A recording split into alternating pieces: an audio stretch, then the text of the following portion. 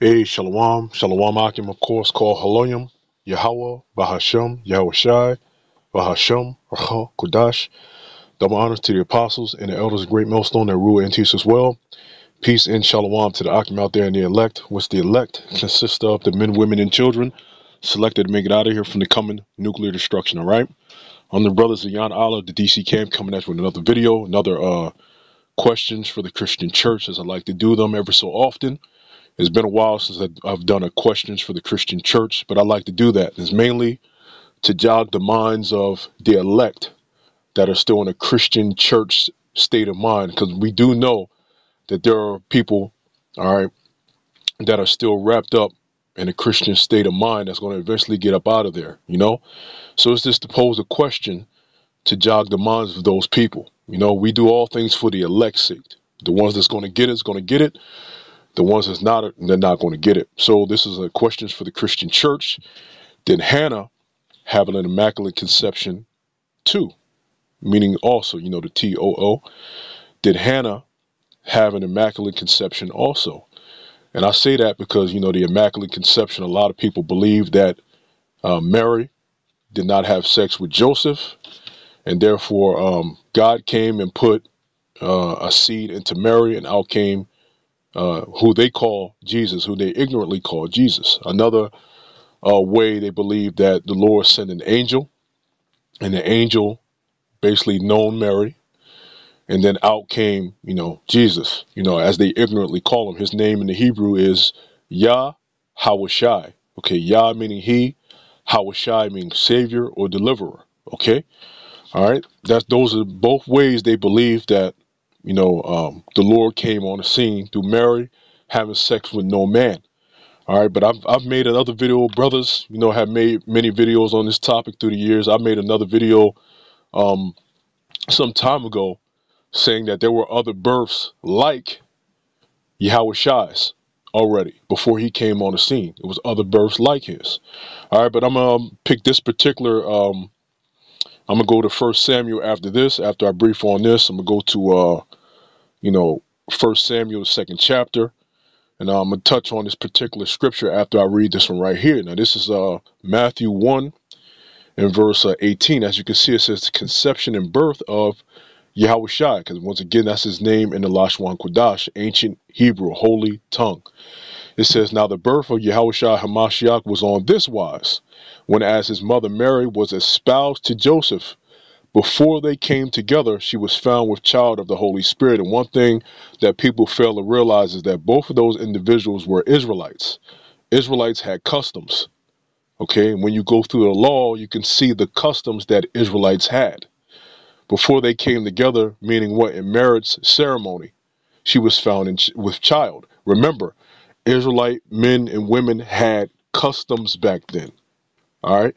Now, when a man took on a wife, whether he took her uh, by number one, the act of taking her by force, and he lied with her, he would have to go to the father, of course, explain to the father what he has done, and pay the father 50 shekels of silver. And the father can choose to give his daughter over to him or even not do it at some cases and still not give them over.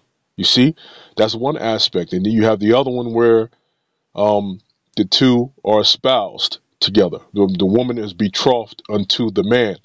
Arranged marriages, okay? And yet the father will receive of that 50 shekels of silver and, and so on and so forth, okay? But those are things that we have done as a nation of people, okay? Right? So when you look at these scriptures, don't look at it just just reading over. Actually picture the people being Israelites and having customs, okay?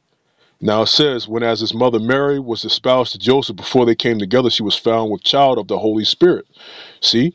Now also, um, John the Baptist was a child of the Holy Spirit, but you know, that's that's you know a different lesson. I'll move into a different lesson.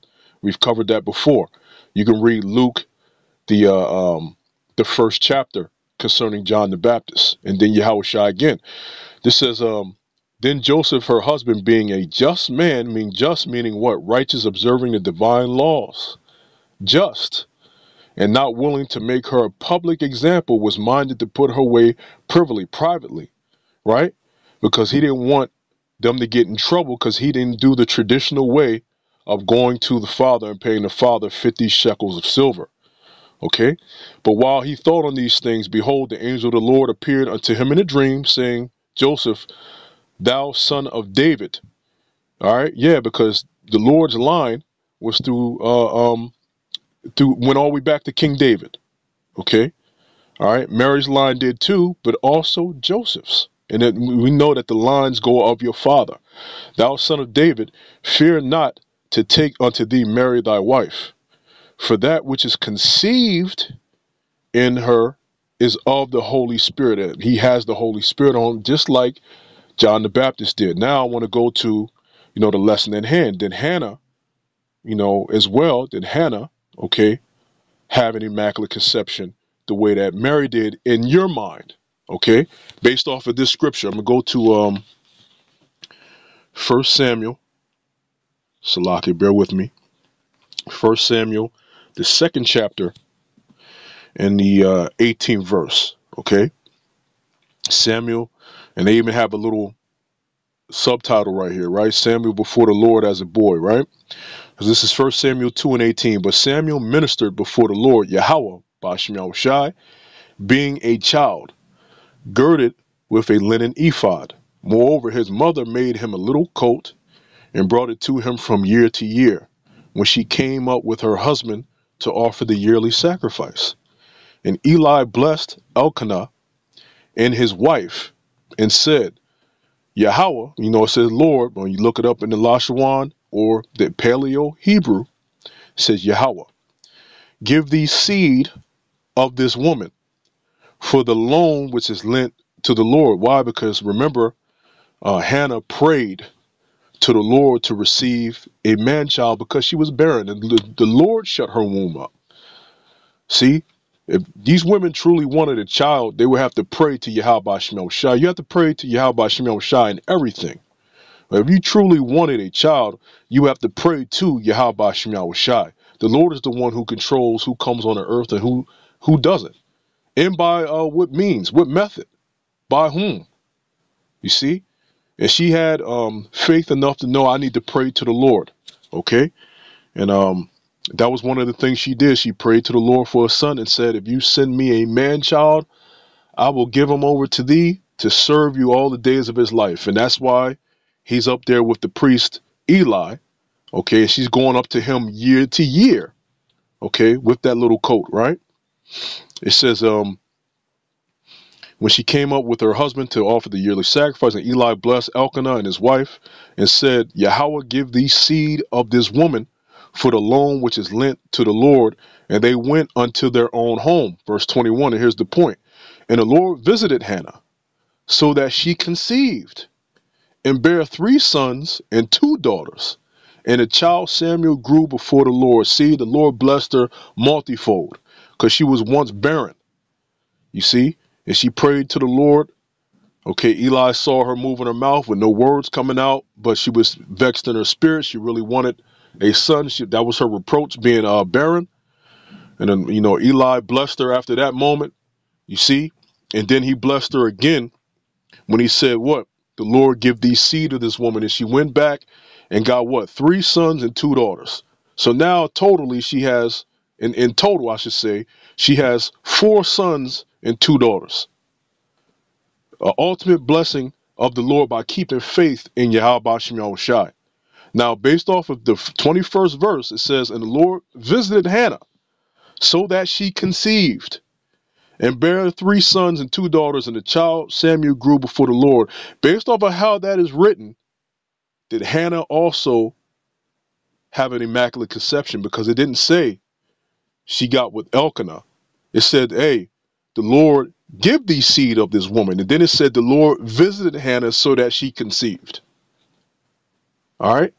So does that mean that she also had an immaculate conception based off of how the scripture is written? Okay, that's my question to you. To us, we know that no. Obviously, she had sex with Elkanah, her husband. Okay? Obviously. But the way it's written, it would look like, hey, and the Lord visited Hannah. You got to have spiritual discernment to understand these scriptures, okay? Now I'm going to go to um, uh, verse 9 through 11, and it says, um, let me see. Child did minister. Let me see. Because I pretty much hit the point, but let me see. Year by year, right? Because we talked about that. As a matter of fact, let me see. That's pretty much the point. That's pretty much the point because this is one of those questions videos. It's a question video.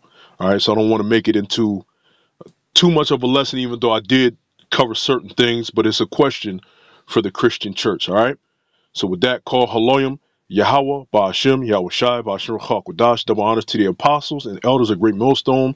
Peace and shalom to the elect as always. A double shalom.